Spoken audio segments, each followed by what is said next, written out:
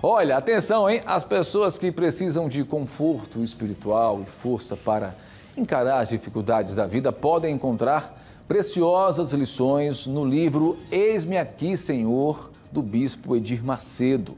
A obra foi lançada nesse final de semana aqui em Maceió.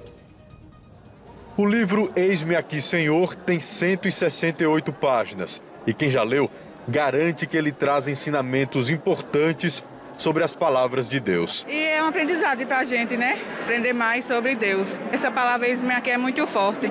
O bispo Edir Macedo, autor do livro, tem conquistado leitores como Sâmia e o marido, que fizeram questão de participar do evento de lançamento que aconteceu na Igreja Universal em Maceió. O livro traz muita, muita descoberta né, da minha parte em como ser uma serva de verdade, né?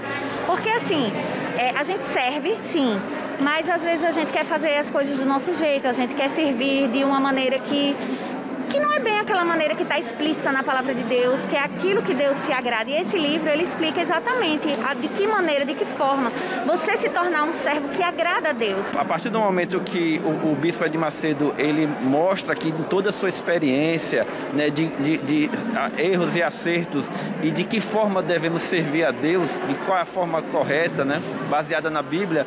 Então, a partir daí, a gente absorve isso aí e com certeza o, a, a, o, reflete muito bem no nosso casamento, no nosso relacionamento.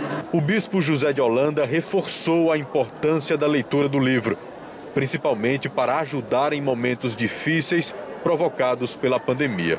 É um conteúdo espiritual e tem como finalidade alcançar as pessoas que, por exemplo, em meio a essa pandemia, estão vivendo em desespero, pessoas, infelizmente, perderam entes queridos e pessoas que precisam, além do conforto físico, principalmente o conforto espiritual. E esse livro ensina tudo isso, né?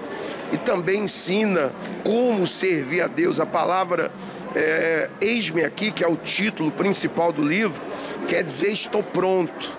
E ensina as pessoas como se prepararem para enfrentar as lutas, as adversidades da vida.